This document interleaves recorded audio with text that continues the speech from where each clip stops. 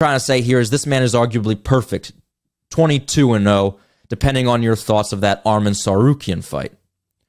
Uh, Gamrot, like his counterpart Beneil Dariush, stands southpaw. And something that stood out to me is that Mateusz Gamrot, according to the metrics here, has maybe the strongest strength of schedule of any fighter on the UFC 280 card.